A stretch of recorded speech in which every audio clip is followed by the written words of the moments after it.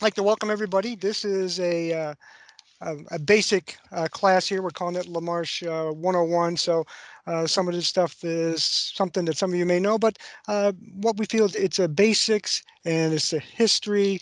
It's the overview. We're going to look at a basic DC system. We're going to look at the charging technologies uh, a little bit uh, to kind of see what's going on with that and what advantages and disadvantages of those will be. And finally, we're going to end it up with a technology comparison chart. So um, this is just the first, uh, you know, look forward to uh, more of these uh, webinar type things uh, in the future. There are going to be some varying details. There'll be a part two to this one coming up probably in a couple weeks as well as some other more detailed ones covering things like the technologies and other new products that we have. So with that, I'd like to uh, get started. Um, covering a little bit about um, LaMarche here. We were founded in 1945 by Austin LaMarche. Um, how we kind of got started was after Austin come back from World War II, uh, went to work at his father's pipe organ factory. So the LaMarches actually made pipe organs uh, initially. So uh, at the time, a pipe organ was powered by like a large motor generator set because it needed DC. So uh, the generator sets they were loud, they're noisy, they're you know bulky and dirty, uh, and you know let's face it, a lot of times for a pipe organ, you're in a church or you know a concert hall, so uh, those areas are not really conducive to something like a motor generator set. So Austin set about to uh, develop the world's first um, DC power supply for a pipe organ, and what he came up with was the Orgelectra. So that's our Model A9, and um, it's from that we spread out into uh, the marine world. You know, uh, figured they boats need battery chargers uh, for their starting batteries, uh, engine start markets, um, utility uh, control, process controls. Uh, eventually developing into um, things like a forklift batteries. So all that kind of spread from the humble beginnings of the A9 and the Orgelectra in the corner of Austin's father's pipe organ factory. So um, we're still family owned. We're owned by Judy and Rolf LaMarche. Uh, they're the son and daughter of Austin. So we're still, like I said, a family business there.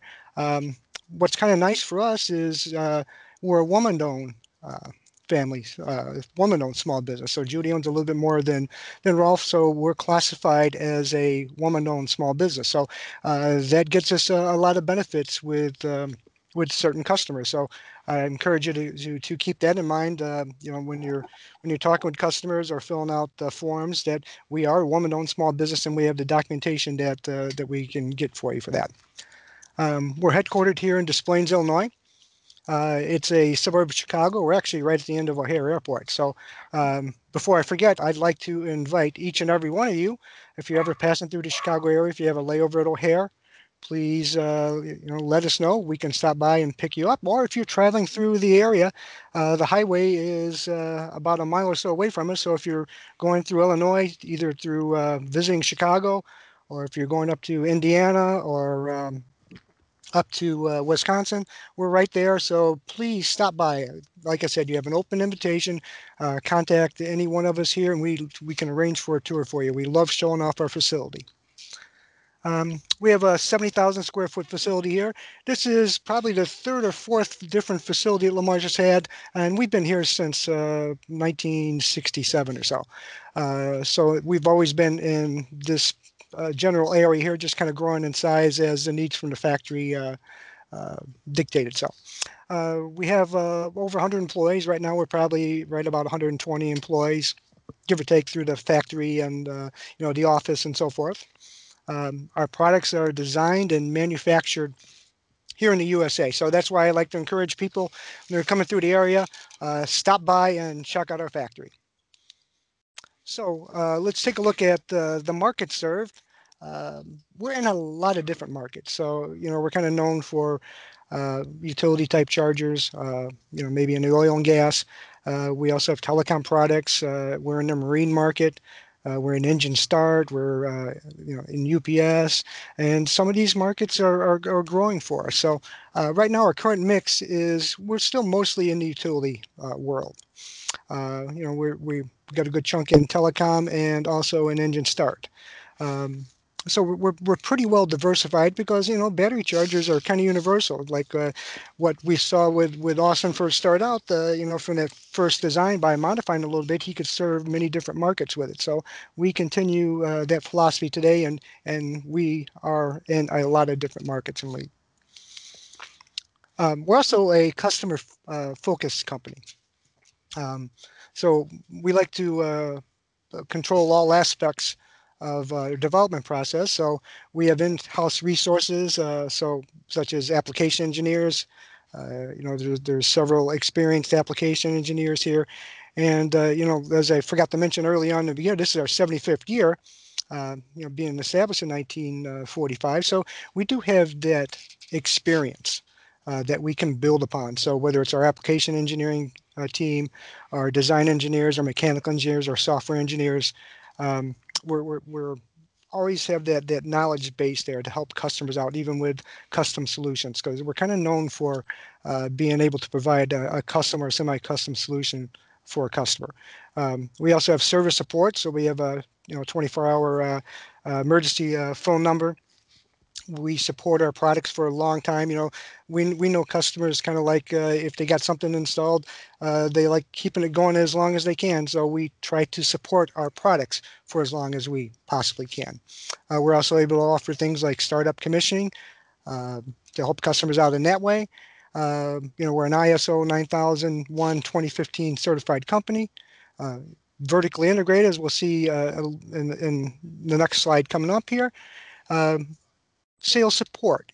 We, we have the inside sales guys here, but we support uh, our rep network. So we have a traditionally strong rep network that uh, that we thrive on. So uh, we have a lot of reps here in the U.S. We have a couple international reps, and uh, you know, we, we also have a few uh, direct accounts in in places where we don't have reps. So we uh, cover the needs of the customer in, in several different important ways.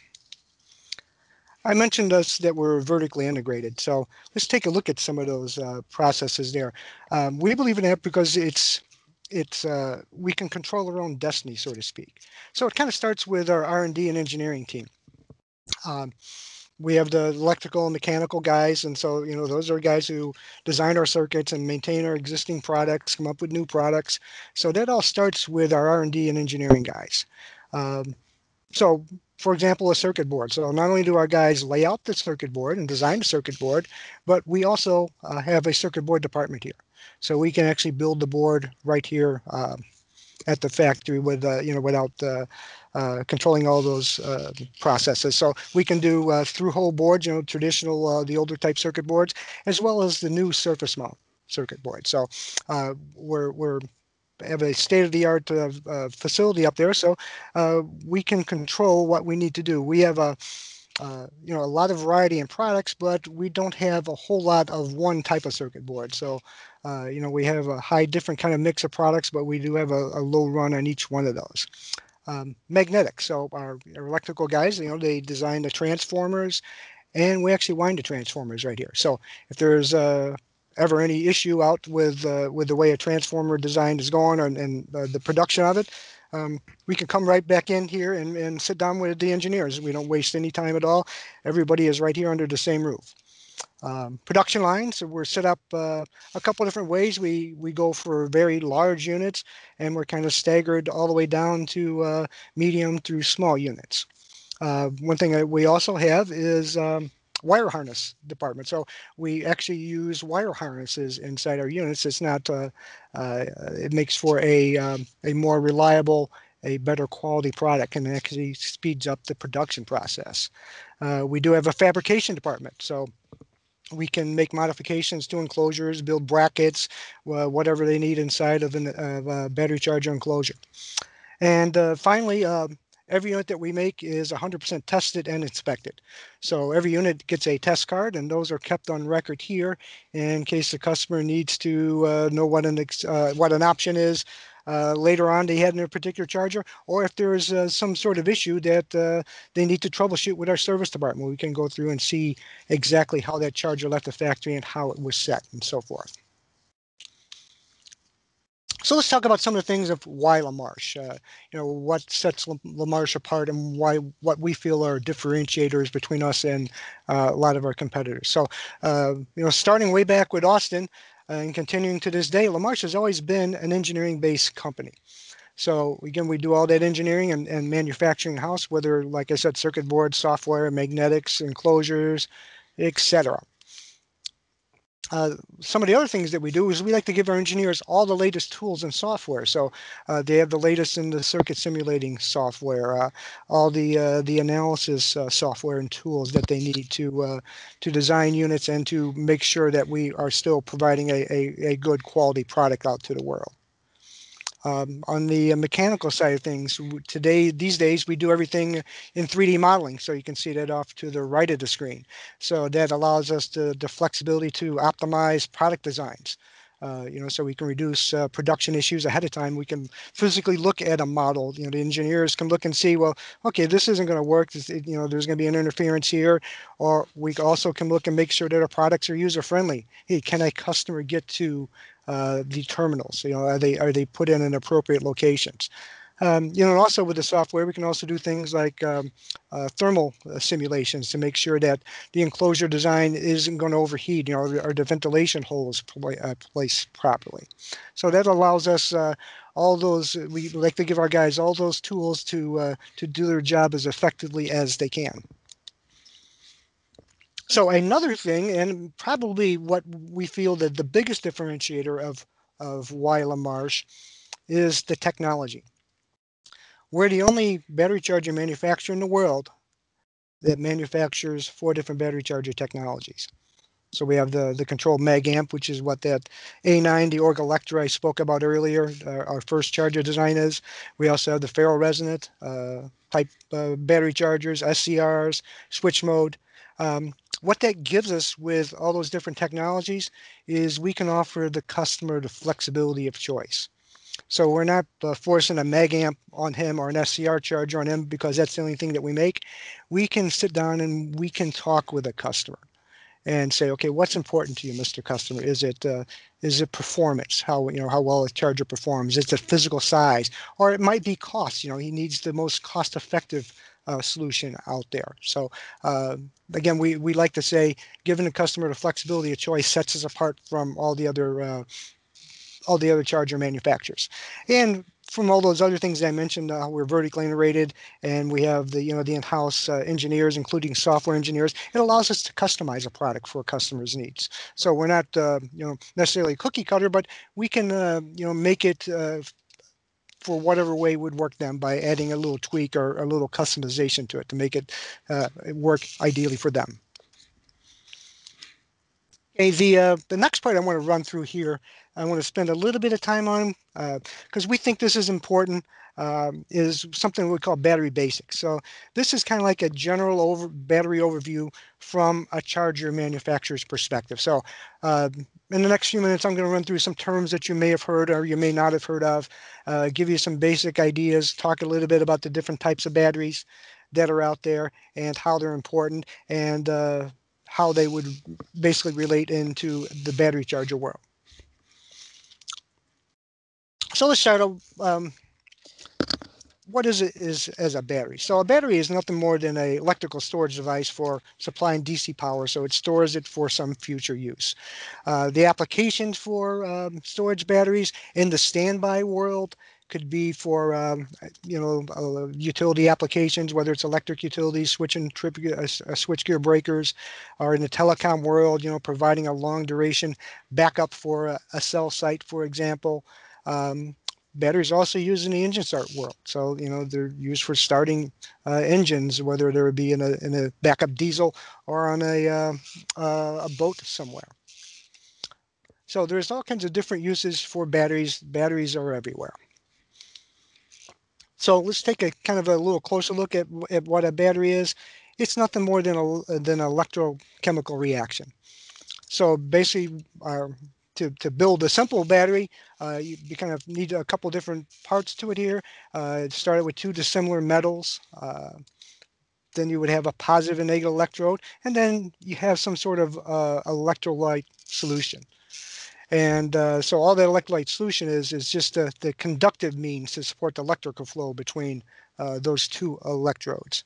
Um, now, the, the next part I'm going to go in here for the uh, the purposes of uh, our discussion here, I'm going to look at a lead acid battery uh, because as I'll talk about a little bit later, that's the most popular technology, uh, battery technology that's out there. And uh, so I'm going to talk a little bit about here. We're not going to go into this into great detail at all. I mean, if if you're interested, there's uh, you know all the different battery manufacturers have uh, of all kinds of uh, white pages um, listed on there where you can go through and and read this in in a lot more detail. So the basic description of this is, I'm going to go through something really quickly here. So let's take a look at this battery. Uh, we're going to call it a discharging battery. So you can see on the left side we have the positive uh, terminal or the positive plate. So as you see on there, it's lead dioxide, PbO2. And in the negative side over there, it's lead on that particular terminal. And so for being this is a lead battery, the electrolyte is um, sulfuric acid. So what we do is we, uh, you know, if we're going to start discharging this battery, let's put a load on it. So we're going to discharge this battery. So what happens is that chemical reaction starts taking place inside there. So as the battery discharges, uh, the positive and negative plates become more and more chemically alike. And so what they'll end up with in the end is lead sulfate. So you've kind of heard that term, uh, a sulfate on a battery, uh, you know, if the battery sulfated. Um, so as this process moves forward and you know the positive and negative uh, posts become more and more alike of you know with a lead sulfate the battery acid drops so as that battery acid uh, concent uh, concentration dilutes, it becomes more like water, but not quite like water. So eventually this happens. Uh, so the battery becomes uh, so discharged it can't deliver any more electricity or um, at, at, a useful voltage, or you simply just disconnect the, uh, the, the battery from the from the load. So moving forward, let's take a look at what happens in the, the positive, uh, sorry, the, the charging process. So we're going to hook up a, a charging voltage. Uh, and when we do that, uh, you know, hook it up to the positive and negative. Now remember, these things are starting out uh, with the positive and negative plates both alike with lead sulfate. Uh, chemically, that would be PbSO4. Uh, so as we connect the, the charger to that and, and the, the chemical reactions we serve both positive and negative plates. So the material on the positive plate is converted back into lead dioxide, and the material on the negative plate is converted back into lead in, in, in, the example here of our lead acid battery. So the, the sulfate from the plates that were on there too kind of returns into the electrolyte solution, making it more and more concentrated uh, as a higher level of uh, sulfuric acid. So that's kind of the simple um, explanation of, of the battery for the purpose here. I just kind of wanted to let you guys see what that part of that process looks like. Um, because that's after all that's what our charger is doing so it's it's it's actually recharging uh, those particular batteries that way so let's take a look at battery construction so battery construction hasn't really changed a whole lot uh, in the last uh, 120 years or so the only thing that really kind of changed is the packaging uh, materials and the manufacturing processes have improved. I mean, lead still lead. Uh, so let's kind of take a look at that battery construction. Uh, I talked about the container, so that's the, the outside, uh, the enclosure part, if you will, that kind of holds all this stuff together. Uh, typically, that's a, a, plastic or thermoplastic type material these days, uh, but back in the old days, it, it was a, a glass jar. So um, in between there, if we look at uh, the, the, number two there on the left side, we see these plates, the positive and negative plates. So in a lead battery, these plates are made out of lead. So it really consists of a grid and a lead paste on there. And actually with these plates is how the battery designers control the properties of the battery. Uh, for example, thicker plates are used for longer discharge um, and it also gives you longer life as something you might see in a utility application, you know, where I'm backing something up for eight hours or a telecom application where likewise I might be backing something for eight or even 24 hours. Um, conversely, if I need something for high discharge, for example, like an in-engine start application, those plates are, are much thinner than those other uh, plates for the, the other standby application. So the thinner plates help you get rid of the energy uh, out of the battery, out of the chemical reaction much, much quicker and delivered to the load in, in a short amount of time. So um, that's just some of the ways that uh, you know a battery designer or a battery manufacturer can control what those batteries are. So you may have looked at a, you know a battery catalog or on a website and see that these batteries are for uh, different usage, you know, long duration or high rate.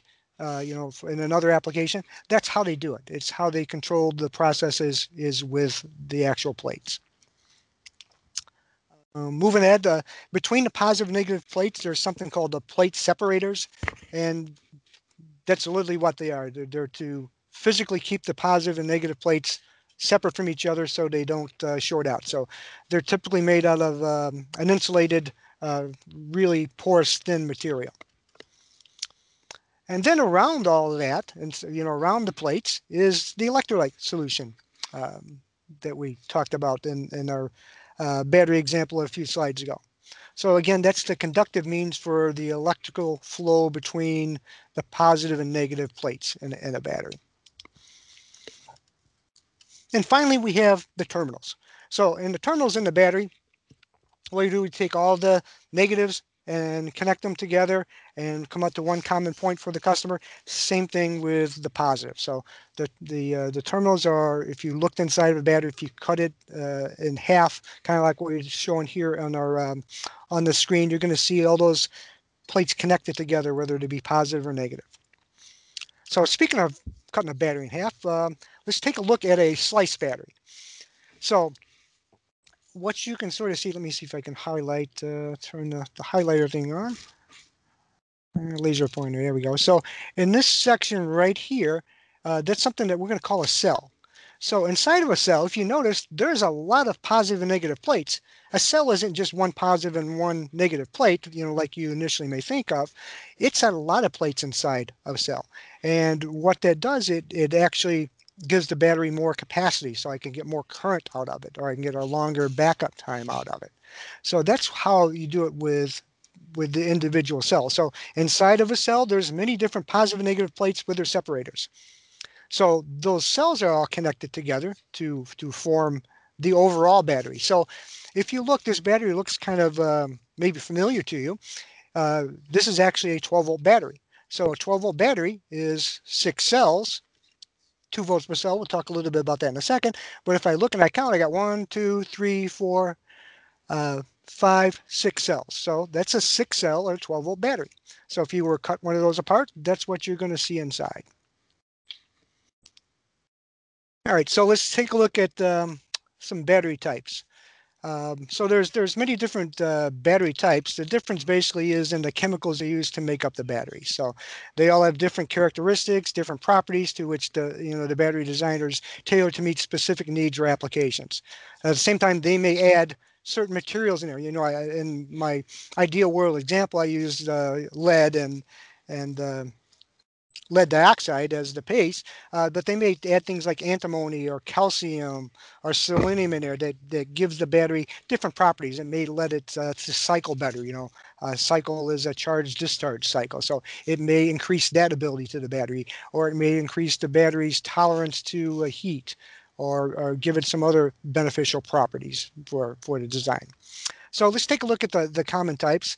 Um, lead acid. Um, that's the most popular type battery still around today. You know, uh, over 120 years later, uh, you know, I, every time I go to a trade show or something, I always hear the the uh, the battery guys, the traditional guys saying, "Well, lead's not dead." Um, so lead is still the most popular. Uh, probably the second most popular type is the nickel cadmium or NiCad batteries. Uh, we see a lot of those. Um, other types that are out there, uh, lithium ion, there's there's various types of lithium ion that you've seen today. Uh, there's other uh, technologies, nickel, nickel metal hydride. Uh, there's some other ones involving other various materials that people are constantly trying to develop, and they all have different properties. You know, they might be a, a faster recharge time, or or better for uh, uh, you know electric vehicles of, of getting energy out quicker. Um, but for us in Lamarche, and you know, I said this is this talk is from the battery charger guy perspective. Uh, lead and NiCad are the, the, two most common types for us. So I talked about typical voltages before. So uh, typical voltage for a lead battery is two volts per cell. So if I have six cells, that's how I get my nominal 12 volt uh, on a battery. Um, with a nickel cadmium battery, it's a little bit different. The nominal voltage there is 1.2 volts per cell. So in something of a 24 volt nickel cadmium uh, cell, uh, sorry, battery, uh, you might have 18 of those batteries at 1.2 volts to, to get you up to your uh, 24 volt nominal range. Uh, so let's take a look at, you know, I said lead is the most popular type for us. Uh, lead can be broken down a little bit further. So let's take a look at that. So uh, the most, uh, the traditional type is something called the VLA or vented lead acid. So these are also the flooded cells uh, and the the wet cells. So what the, the, the notable thing about these particular batteries is you can replace the electrolyte. And also the electrolyte uh, can be checked. Uh, these are the batteries, the older type batteries that had um, uh, vent holes, uh, sorry, um, uh, vent caps on them. So you can remove the vent caps and part of your periodic uh, monthly maintenance was you would top off the the electrolyte levels in the batteries. And you could also put a hydrometer in there and, and check the specific gravity readings of the battery so you can get an indication of the state of health of the battery. So this is was is the more traditional type battery. So they've been around for, for many, many years, and uh, they're, they're still in large use today. Uh, you know, the, the, the, the VLA battery has not uh, gone away. It's still a workhorse in the battery industry. Uh, newer battery technology that, that came around uh, probably in the late 70s or so and became popular in the 80s, uh, something called a VRLA battery. And what that stands for is a valve regulated lead acid battery.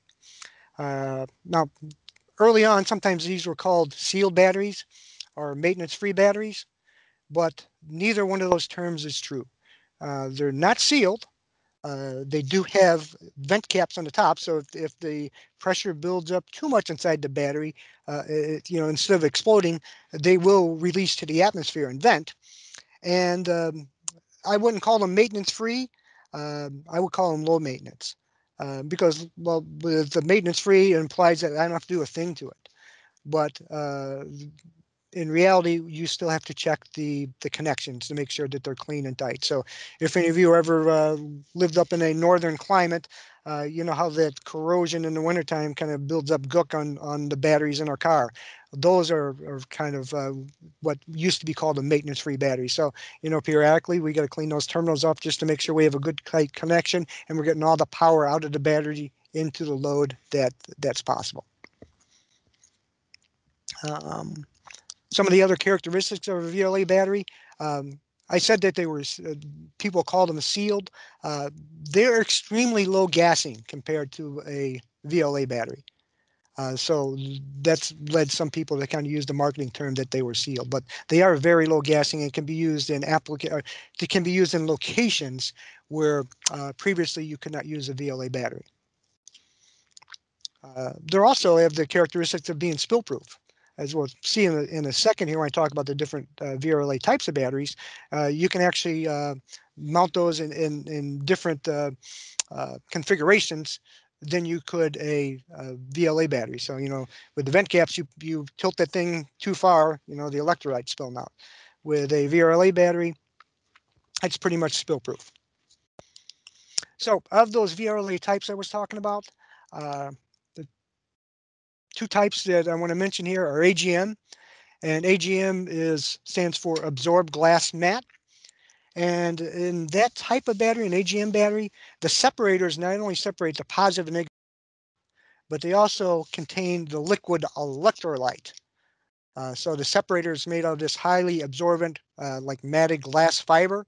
So picture like the mat is kind of like a sponge holding the electrolyte between the positive and negative plates. So being in that it's uh, kind of like that sponge fiber material that allows it not to be in necessarily in a, in a highly liquid form that would run out. So it gives you the, that uh, uh, the spill proof uh, uh, component that I was talking about. Uh, the next battery that you hear a lot of in, in the VRLA world is a gel cell or gel electrolyte battery. In that particular battery, the electrolyte is actually gelled and it, it kind of looks and uh, has the consistency of petroleum jelly. So that's between the positive and and the negative plates all around the battery inside there. So that's uh, the electrolyte uh, means in, in that particular battery. Um, again, the, these batteries here have advantages and disadvantages that uh, is beyond this uh, the scope of this uh, conversation here. But uh, I, I suggested if you're interested in learning more about those different types, there's all kinds of information out there that uh, from battery manufacturers that you can go educate yourself on on the different types and, and why you would choose an AGM over a gel cell. But again, the purposes of our talk is charging the battery, and uh, on that end, uh, these are all very similar batteries to us. So next thing I want to talk about is some common battery terms. Um, you know, going back when I first started here at, at La Marche, um, this part confused me for a little bit, to be honest, because I'm talking to people on the phone and they're telling me, I'm talking to one guy and he's telling me he's got cells. I talked to another guy, he's got modules. He referred to his batteries as modules. Another guy calls them strings. Uh, somebody else calls them jars. Some people call them blocks. The truth is, they're all batteries. So, for example, I, I could have uh, 12 cells lead acid, or I could have two modules, or I could have a 48 volt string, I could have six jars of lead acid. Remember, I told you the earlier days, um, the containers were actually jars, and some of the big batteries, uh, just for the strength of it, uh, they're actually physical gla glass jars for the for the larger amp hour sizes. So the thing to keep in mind, all those terms, cells, modules, strings, jars, and blocks, they're all batteries. Uh, so let's take a look at some of the, the, the typical battery uh, configuration. So um, they can kind of come into a two volt and uh, you can sort of see here, this is what I was talking about. That's one of the clear jar type batteries. So it's a larger amp hour cell. That's actually only a two volt cell. Oh, sorry, uh, yeah, two volt cell. So that's just one cell. So if I add a 20 volts, 24 volt system, I need 24 of those jars. So that was actually more, it was more like a jar. So this is a three cell or a six volt type configuration. As you can see, I got three cells there. Uh, probably a, a, more typical one that you might see is the 12 volt or the six cell one. So uh, if you roughly, you can almost see the, the breakpoints here of the six cell compartments inside that particular battery. So uh, it's just a, a, couple different ways that batteries are packages. So let's take a look at some of the further ones. So these are the large uh, VRLA type batteries. So uh, these particular batteries come with integral um, mounting provisions inside the battery. So it's not a separate battery uh, tray or shelf or a um, uh, container, for example. It, it's all racked internally to um, the battery. They're modular, so you can sort of build them up, whether I have different configurations, rows, or or um, or height for that. Uh, some of these are, here's a, couple examples of front terminal batteries. They became popular because uh, the terminals being on the front here, now I don't need access along the top there. If I think if I'm talking about a top, tel, a stop cell battery, we'll see in a second, um, you know, I need to get, uh, I can't put anything right on top of that because let's face it, I need room to get my hand inside there to make the connections to, to work on the battery. So these front terminal batteries allow you to mount them kind of close together, like in this telecom configuration. So some more top terminal batteries. And those, I like I said earlier, you need access to the top of those particular ones to uh, you know to make the connections. And if they are a vented battery, uh, VRLA battery, then you need to check the electrolyte. So you need access to the top. So um, here's a, a better look at a flooded battery installation. And you can see these are big, big cells, a lot bigger, and they take up a lot more room. They're, they take up, they're a lot higher than those other examples that I gave you. Uh, this battery rack that we see here is actually a, um, a two tier rack. So we can see the, the batteries are one on top of the other. And if you can look, hopefully you can sort of see between there, I do have room there that I can actually make my connections and actually check the electrolyte level.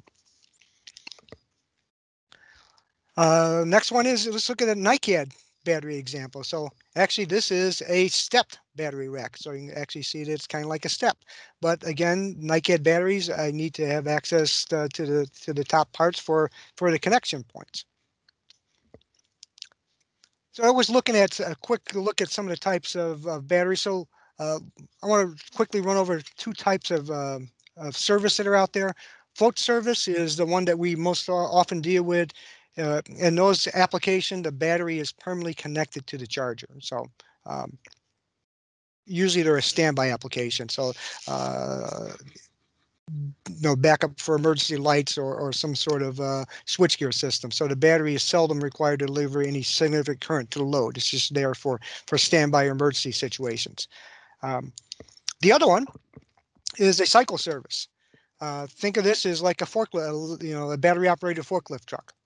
So there the battery is the primary source of power. So in those situations, uh, you know, if it's a lift truck, um, I, you know, I unplug it at the beginning of the day. I drive around for the, you know, the hour shift. At the end of the day, I plug it back in. So uh, there's the the connection and disconnection. Or a golf cart uh, battery is is a perfect example of that too. Uh, most of the chargers that that we, we're going to deal with here at La Marche are going to be the float type battery chargers. Um, I want to run by a, a, a couple uh, quick terms uh, to you guys so you can understand what what those means. Uh, first one would be float charge. Um, that's the normal charge mode of, of a battery. So that's what you do to maintain the battery. So when you hear somebody talk about the float voltage, that's what the, the battery is at uh, the, the vast majority of the time. Um, the other charge, uh, term that, sorry, that you might hear is equalized charge. Um, generally, depending on the battery, let's talk a flooded battery or VLA uh, wet cell battery. Um, if the uh, the battery is sit for a while, uh, sometimes what happens, like you know, in a standby application, like we've been talking about, sometimes the cells uh, start uh, becoming unbalanced at different levels. So think of an equalized charge is the process of charging it at higher voltage and bringing all those cells back up to the same potential. Uh, think of it, I got something there and I got a big stick inside there and I'm stirring the pot to, to bring everything back up on uh, at the same uh, charge potential. Um, usually, like I said, that's only done on uh, uh, usually done on VLA batteries. On rare occasions, you'll do it uh, on a VRLA battery, and that's usually when. And I would. It's only when recommended by the battery manufacturer. And typically, they have you do that if the battery is set uncharged for you know uh, a period of months. So might recommend that you give it a freshening or an equalized charge before you put it into service. So again, that's at the, the recommendation of the battery manufacturer. Uh, some other things that, that we think are important here, uh, some factors that affect battery life. Uh, number one is temperature.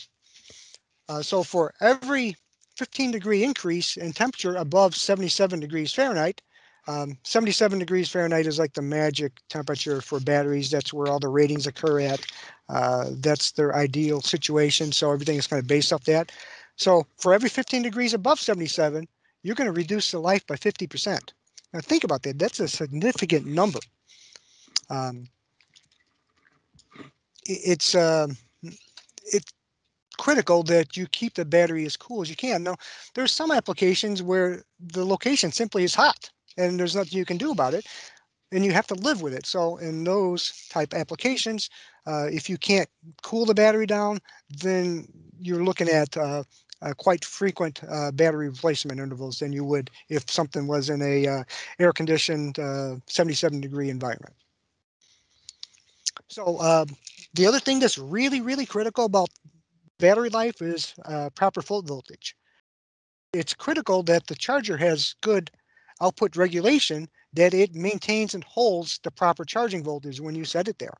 Uh, both under and overcharging a battery are bad for it. Overcharging uh, heats it up and undercharging causes the, the plates to sulfate, resulting in shorter battery life, significantly shorter battery life. Now, this is especially true on a VRLA battery.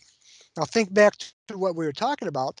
Uh, the reason why it's really important in a VRLA battery, the top's sealed. I, I can't get in if it was a flooded battery and I needed electrolyte, I just removed the vent caps and I add electrolyte to it.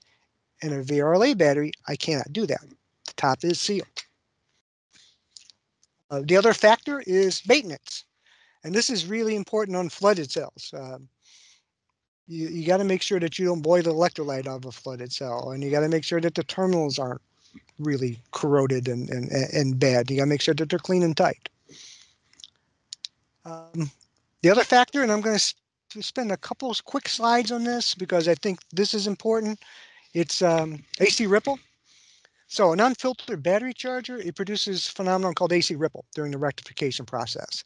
And uh, that's anybody's battery charger, not just the La Marche battery charger. All unfiltered chargers produce ripple. So the AC ripple rides on the charger's DC output, and what it in effect does, produces a lot of small and discharge cycles in the battery. So what this causes the battery to do is to excessively heat up, leads to shortened battery life. Again, this is really critical in a VRLA battery because I cannot add electrolyte to it.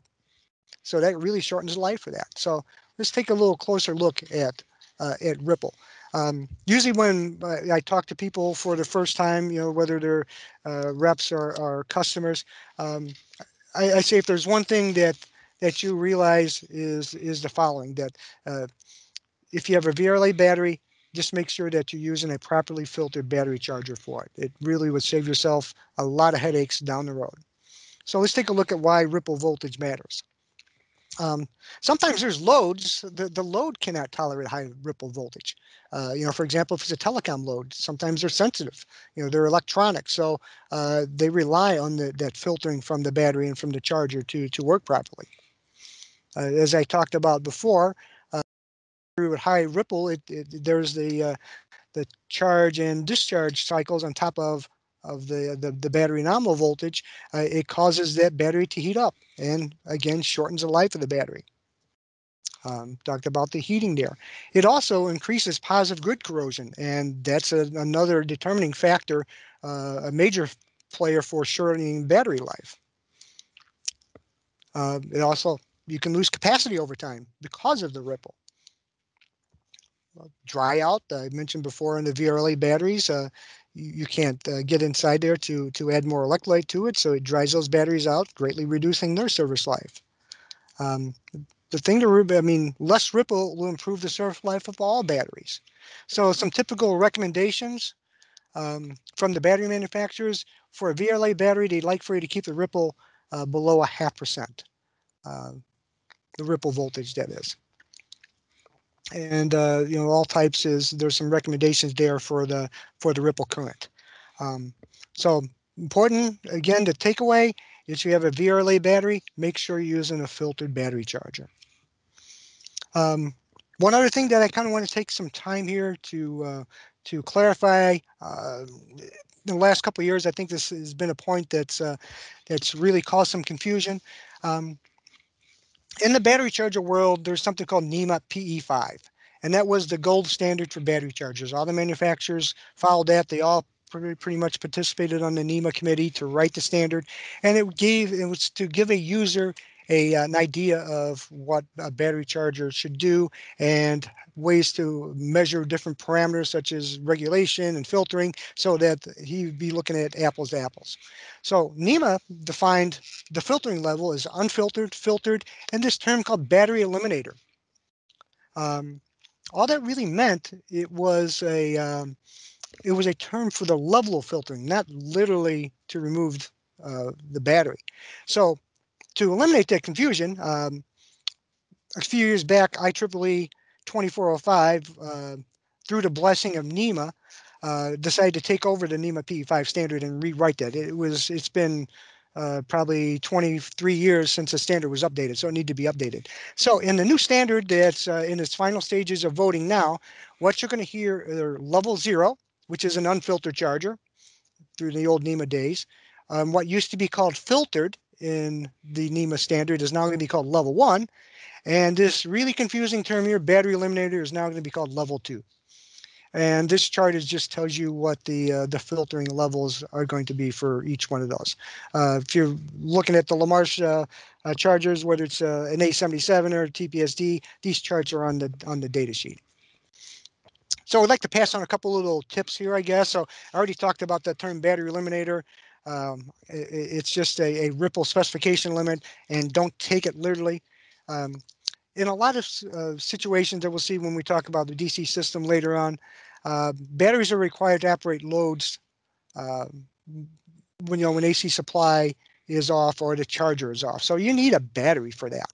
Um, for certain type of loads, a charger can't support any momentary transit loads like a high inrush without the assistance of a battery. So in those situations, you need the battery anyway. You know, a charger is uh, it, it's it's a machine. So um, it takes it's got to convert AC into DC by however means it does that before it can deliver uh, power to the load. A battery we saw is electromechanical, sorry, electrochemical uh, uh, reaction, and it can supply power instantaneously. So if something like a load breaker, um, a battery charger without a battery, most likely does not have enough um, uh, power or current to clear that load fast enough. So that load fault fast enough. So that's why you kind of need the battery for that. So again, I want to stress that the term battery eliminator does not mean I'm eliminating the battery from the circuit. Many times you can, but you know, it depends on the type of load it is. If it's a high inrush transient load, you definitely cannot do it. So let's talk a little bit about battery capacity. Um, battery capacity is rated in amp hours, and it kind of gives an idea of how much capacity uh, a battery has. Uh, it's typically in standby applications expressed in amp hours at an eight hour rate down to 1.75 volts per cell and to an end voltage of 77 degrees Fahrenheit. So that's the, the standard for all the batteries. So when, when you're looking at uh, competitor X, 125 amp hour battery, it's measured the same way as competitor B. So in simpler terms, you know, one amp supplies for one hour is one amp hour. Again, that's the amp hour capacity of the battery. Um, the other thing is the capacity is not linear the efficiency of a battery is different at different discharge rates. So uh, when you're discharging at a low rate, the energy is delivered more efficiently than you would be if you're discharging at a high rate. So just keep in mind that it, it's not linear and you can't uh, interpolate uh, through the graphs for that. So let's take a quick look at how it size a battery. Again, this is something that's uh, that's uh, really uh, quick and straightforward. Ideally, you'd be using this through um, through a program and through the IEEE 450 standard. But some things that I need to know for sizing the battery. I need the load current requirement in amps. I need to know what the backup time is. You know, is it is it uh, 15 minute backup or is it uh, eight hours? I need to know the end voltage. I said most of them are specified down to 1.75, but a particular load may require that to uh, to go down even deeper a little bit, or maybe not as deep. We also need to know the application. You know, uh, uh, as we saw from the plates, a, a uh, engine start battery is different than uh, a telecom battery, a long duration battery. And then there's other things called the, the required aging factor and design margin. So uh, to kind of tell you what those are briefly, aging factor uh, allows for the fact that as a battery uh, ages, it loses capacity. So you want to make sure that at the end of its design life, uh, the battery still has enough power to to meet the the, the uh, design load demands. And the other thing is design margin, and that kind of uh, allows for added loads during uh, the life of the battery. You know, you might want to add another two amps, or you plan on doing that a, a couple years down the road.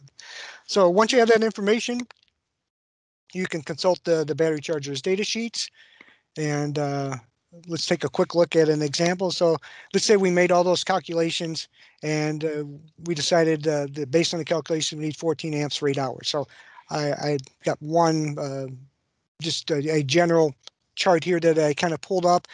And so we look, there is the eight hour uh, section of time.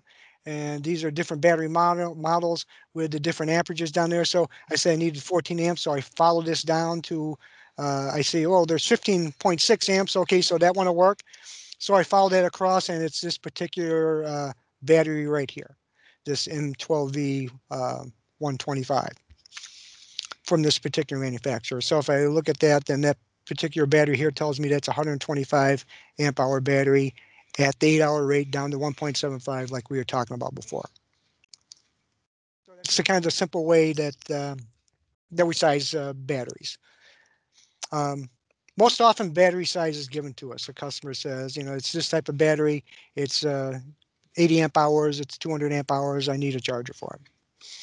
Um, another thing I want to kind of close up here with batteries is something called series and parallel strings.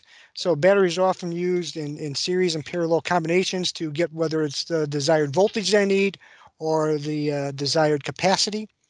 Um, in a parallel connection, um, simply the, the positives are connected together and the negatives are connected together.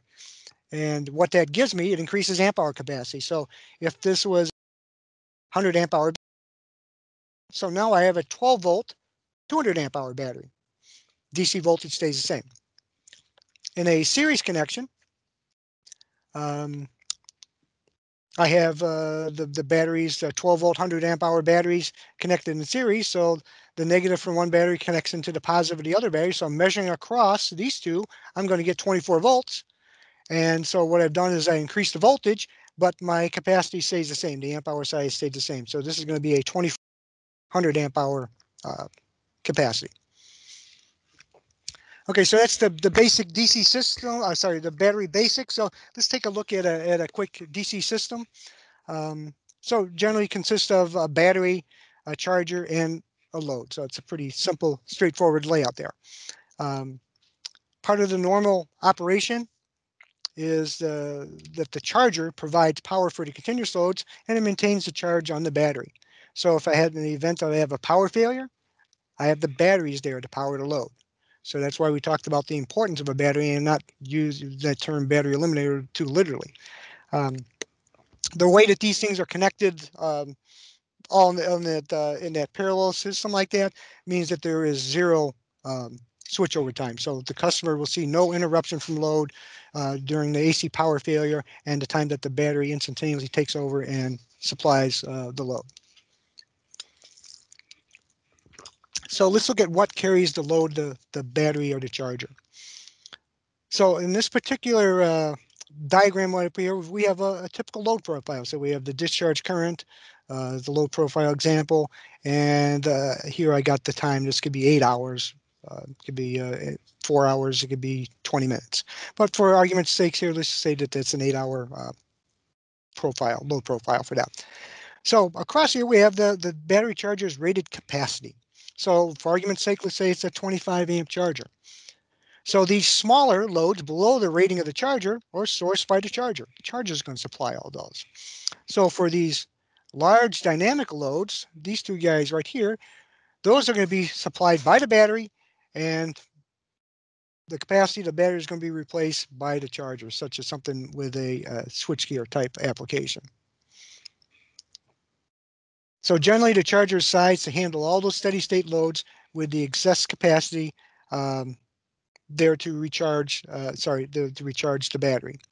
Um, you know, this is a, a the typical uh, battery charger uh, layout and the way that those work. And the, part of the reason too that we said that we have um, the the battery uh, size to carry the uh, instantaneous loads. Um, let's, for argument's sake, say that this peak here was 400 amps for uh, you know a couple of seconds or a minute, let's say.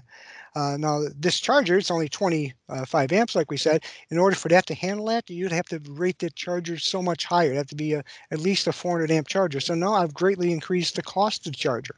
When I can effectively do it by having the, the nominal size battery charger here and having the battery that's that's ideally uh, sourced to supply that instantaneous load. Okay, I'm going to quickly go through some charger technologies um, that are out there. Uh, so as, as we kind of move through these, I'll, I'll point out some of the circuit differences to you. Uh, but since this is kind of a basic uh, 101 type class, I won't go into a lot of great detail on the circuit topologies. Um, you know, we will cover those more uh, in detail in, in future webinars, and we do have white papers available online that, that'll tell you a little more detail about what that. So the over the years, the battery charger technologies have been developed to to improve several things. Um, you know, whether it's the uh, efficiency, the reliability, the performance, the size and cost. Uh, so these all have uh, you know different values and different merits to different customers. So each technology has its advantages and disadvantages when compared to another technology. So that's the reason why there is different technologies out there. So that being said, let's take a look at the mag amp. So the mag amp is kind of what uh, you know. I mentioned it earlier before. It's the what the Orgelectra is. It's what uh, La Marche was was founded on. So uh, you know, in the early part of the 1900s, uh, you didn't have transistors or things like that. So you had to find ways to uh, to you know regulate power.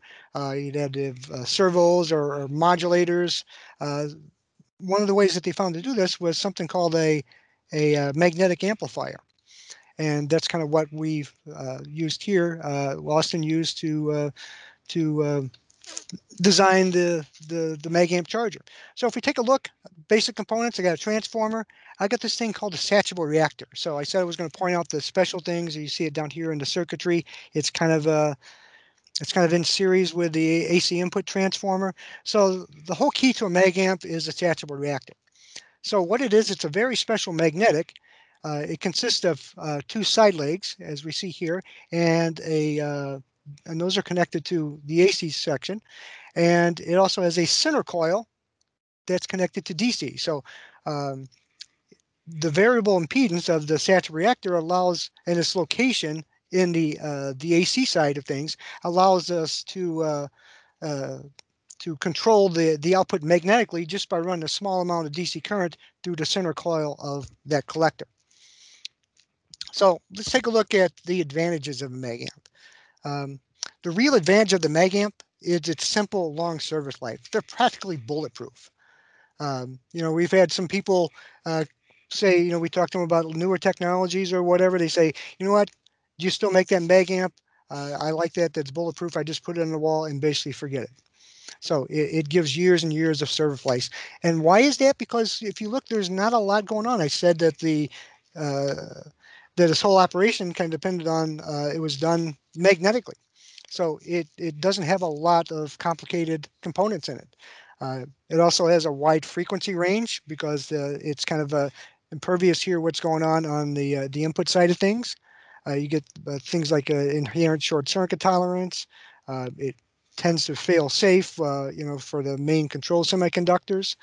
it has a lot of benefits there. Um, on the other side, um, disadvantages, its size and weight, especially when you compare it to the other technologies. And, and, if you can sort of see what I mean by that is normally here's my power transformer, my input and output of the transformer. I got this other magnetic assembly hanging on the input side. So that increases the size of the enclosure, increases the weight of the enclosure. And also has an effect, a negative effect of, of lowering the efficiency a little bit. But, you know, somebody that wants a bulletproof design that lasts for years and years and years, this is the product for them. Uh, just threw a couple of pictures in here. This is a regular transformer that we saw on the input side, you know, the regular straightforward transformer. This is the saturable reactor. So you can see it looks a little different than the other transformer. So here's the two side legs on the outside, and that's what gets connected to the, to the AC, uh, you know, in parallel, uh, sorry, in series with the with the primary transformer. And this is the center coil, how we controlled the saturation level of that magnetic assembly. So it's kind of a, a, a cool, unique way of controlling the output. Moving ahead to the uh, controlled ferro that came about and uh, invented by Joseph Sola uh, in the 30s sometime. Um, the major components of the uh, the ferro is the ferro resonant transformer, and the main part of that is something called a resonant tank circuit. It's got the you know rectifier diodes converted in, surge protectors, and a control card. Um, kind of what's special about this, you know, I said we'll point out the special things, is the ferro, resonant transformer. It's kind of a special transformer. It consists of, uh, uh, it had, basically has three windings in one assembly, and it also uses high grade uh, premium steel to get it the, the special properties that it needs. So inside I have the, the input winding. And I have this thing called the tank or resonant winding, and that's where the term ferroresonant comes from. And I also have the output winding. So basically the ferroresonant uh, transformer is uh, controlled by varying the voltage on the, uh, the tank circuit, the secondary to tank circuit. So this is done by the control card, switching the inductor in across the, the, the portion of this winding using this thing called the triac. So it's kind of a, a simple way uh, simple, effective way of, of controlling a battery charger. Again, uh, it's a lot of it's done magnetically uh, because there was no um, you know things such as uh, transform, uh, sorry, transistors in in the beginning when these things were initially developed. Um, advantages of the the control ferro, and there's a lot with the control ferro. It has high efficiency and high power factor. So of the conventional technologies, it it it, it it's the high performance type charger. It also has pretty good reliability. Uh, not quite as good as the mag amp, but really good reliability. Um, it generates uh, low input harmonics, uh, low EMI is generated. Um, you know, it's got a saturated secondary, so it, it's kind of uh, it makes it inherent uh, impervious to things happening on the input side, so you get the short circuit tolerance protection. There's a lot of good things happening with with a ferro. Um, couple disadvantages. Um, I mentioned before this tank circuit, so it's sensitive to what's going on, on the input side of things. So if the input frequency is varying uh, by more than uh, uh, you know, 5%, you know, from, for example, let's say 57 to 63 hertz. Uh, say if this is going to a country where the power grid is is not that good, uh, you're going to have problems with with the ferroresonant transformer, uh, ferroresonant charger. So it's kind of sensitive to what's going on. Or if you're trying to power this off a genset, it's not very good. Um, some of the other things here are the the special steel that's required to it is it's a it's a little bit higher dollar steel um, you know, and in in this uh, tank circuit here, uh, there is 600 volts AC present in there. So uh, some people are not real comfortable working around that. But again, it's a technology that's been around for many, many, many years, and uh, and it's still used quite uh, quite a bit today. Here's a quick look at that ferro resonant transformer. So in this section, here's the input side of things, and and uh, you know the the tank circuit and the output uh, winding are kind of uh, wound on top of each other there. So it does have a unique look to it compared to uh, the straightforward transformer. Um, next technology that we're going to talk about is the SCR technology. Um, SCR chargers uh, started to become popular probably in the, the late 60s, early 1970s. Um, the, the main components here are the transformer again, um, an SCR, the silicon control rectifier, uh, surge protector and a control card. Um, the basic way that kind of works is the charger is controlled by the SCR. So the control circuit, it determines what the output is, what output is needed, and it switches on the SCRs at the appropriate time, uh, controlling the SCR conduction angle. So the conduction angle controls the amount of time that the SCR conducts during each sine wave cycle. So the, the longer the conduction uh, time, it provides a higher output, shorter conduction time uh, reduces the output. So it's kind of a, a really simple, effective way to, to control uh, the battery charger. Chief advantage for the SCR charger is low cost. Uh, this is the most popular battery charger uh, here in the U.S. Uh, these days mostly because it's it's cost effective. So it gives you a lot of benefits, uh, but it is the the uh, a, a good uh, good charger for uh, for for the money there. Uh, it has good efficiency. Uh, the other good thing about an SCR charger is it has a wide range of output voltages and currents. I can you know make this up to a thousand amps or, or or more if I need to. It's easy to do with the SCRs compared to some of the other technologies. Uh, disadvantages, uh, it's this, you know, the EMI noise produced by the SCR switching. Uh, you know, it also tends to lower the input uh, THD, so uh, that can be a problem in, in certain applications. Um, moving along, we got the, the fourth technology, the high frequency technology. So this is the the newest technology in the in the battery charger world per se. It became popular probably in the in the 1980s. Um, you can see the major components. There's uh, this is a greatly simplified block, diagram for this. Uh, there's a lot of circuitry involved in here. So there's the PFC circuit. Uh, there's uh, uh, the input EMI filter that goes along with the power switching stages, uh, the high frequency transformer, um, and there's the output filter, and there's feedback circuitry. Um, there's a lot happening there. So um, I mentioned it was a complex um, operation, but you might say, why, why do I want a high frequency charger? What does that give me? Um, it takes advantage of the, the simple physics that, uh, that states um, the higher the frequency, the smaller a transformer has to be for a given power level. So, uh, something that would be with a conventional technology, uh, you know, maybe something uh, 12 inches by 12 inches, uh, you know, 12 inch cube. Now that gets shrunk down to the size of your fist. So it's it's it's way smaller and it's significantly less weight. So there's a lot of benefit there by uh, using all this technology to come up with this different way uh, for um, power conversion. So that's why you see a lot of very small chargers and rectifiers today. Those are the high frequency uh, technology. You know, conversely, as long as I'm talking about that, that's why with a 50 hertz charger, sometimes it's bigger than is than the 60 hertz version is because you know the lower the frequency, the larger the transformer has to be for a, a given uh, power level. So the kind of way this roughly works here, uh, the first stage of this provides the input uh, EMI filter, you know, the power factor correction, and the high DC bus voltage, uh, getting it ready for, up for the second stage. So this cranks, uh, cranks up to roughly the 400 volt DC level. And in the second stage here, it's basically a DC-DC converter section which takes that, that high DC power from the first stage and switches it at a high frequency. So that's where the high frequency switching comes in. So from instead of a 60 hertz uh, switching frequency, now I'm up to thousands, uh, hundreds of thousands of hertz uh, to get that transformer size down really small. So uh, the switch power is then applied to the, the primary of a, of a high uh, frequency power transformer. Um, then the DC voltage and current are you know control using the pulse width modulation uh, feedback controls uh, from the secondary to power transformer. Gets rectified just like a, a traditional uh, battery charger filtered, and uh, you know because it's high frequency, it has to get passed through some additional EMI filterings to to filter out that other uh, noise that that comes along with it. So the, it, as you can see, it's a really complicated process, but what does that give me? I, I, talked about the size and weight. So the footprint's really, really small for this.